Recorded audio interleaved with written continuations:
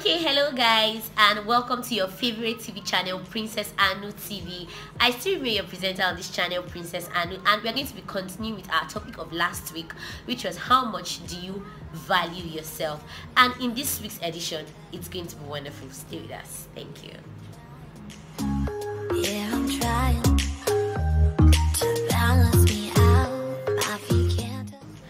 Okay, like we said, we are going to be continuing with our topic last week, which is how much do you value yourself? And as at last week, we discussed about two major things why people don't invest in themselves because they don't value themselves. We talked about people not valuing their time, people not valuing people not having good self-esteem. And you know a recap of what we talked about if you don't value your time you will not be able to invest rightly with the use of your time. And also if you don't have a very good self-esteem if you don't have an, a healthy self-esteem you will not be able to value yourself. You will not be able to value who you are. And this week we're going to be talking about three other things and we're going to be ending this edition next week okay and this is where we're going to start this week. You know um when we talked about value we talked about what? We talked about um the price of a particular thing like we have to be paying prices. The first thing we're going to be discussing this week is the fact that many of us have not forgiven ourselves. Yes i know you invested so much in that business. I know you wrote that exam and pro- maybe probably you didn't pass. I know you put money into that investment and you could not yield. Yes, it's time you forget about that and move on. You have to forgive yourself for the mistakes you've made so that you can move on. If okay, you invested in that seminar and maybe when you went there, wow, it was a fraud. Like what they expected to give you, they didn't give you yes that's fine. It's now time you forgive yourself and look for other seminars. You have to keep improving.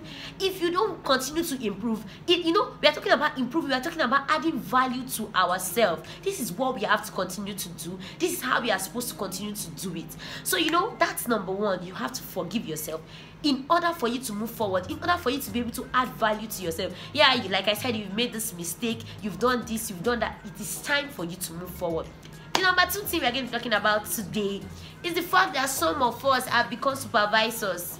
God, I don't know whether God, your own vision or mission in this world, or why God has sent you to this world is to come and be someone someone else's supervisor.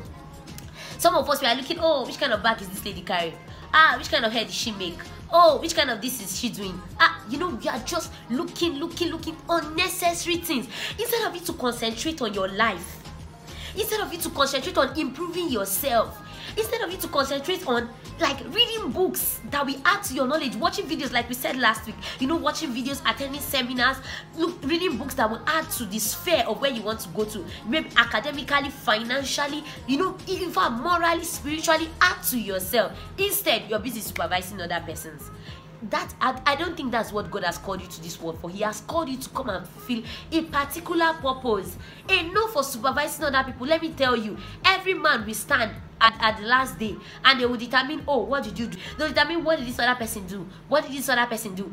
What will be accounted of you? Will they say, oh, he was looking at uh, Mr. A when Mr. A was buying that car? He was looking at Mr. B it is not time for that my dear. Forget about comparing yourself with other people or supervising people. God did not call you to this world to become a supervisor. And if you can stop supervising people and focus on your life trust me your life is going to move forward. Number three which is the last thing we are going to be discussing in today's episode is the fact that some of us we are not grateful. Why you cannot value yourself is because you're not even grateful for where you are at this time you're not grateful for the position that God has put you. You're not grateful for the levels you've achieved.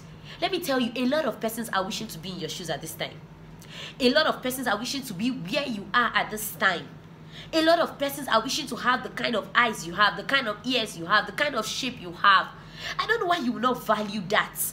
I don't know why you will not be grateful to God for that. And that's why you cannot value yourself. Instead, you're complaining, oh, I didn't have uh, more beautiful legs. I think I would have gone for this model and they would have picked me. Ah, I think I, if I had this kind of clothes, ah, there is no how anybody would have passed me that part. There is no time for that. Appreciate where you are now and work towards where you want to be.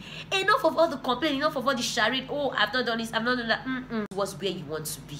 You know, Princess Anu TV is always here to keep you inspired, to make you the best version of yourself. And we will not stop, like I always say, till we make you the best version of yourself. You know, keep watching, keep staying with us. If you if you've not subscribed to our TV channel, please do so. Subscribe now to our YouTube TV channel here on Princess Anu TV. Just click the subscribe button and make sure you leave a comment behind.